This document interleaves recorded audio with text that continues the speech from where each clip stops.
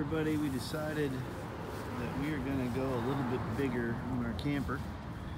So our 135 is for sale.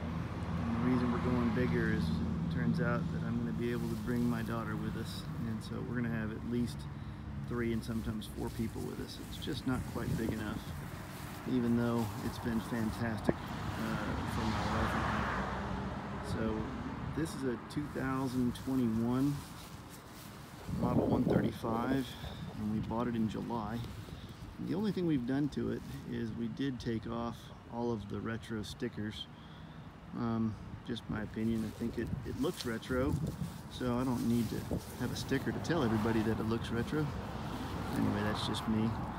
But other than that, it is bone stock and it is pristine. It is absolutely perfect, perfect condition. And uh, used it about five times and have had a great, great time.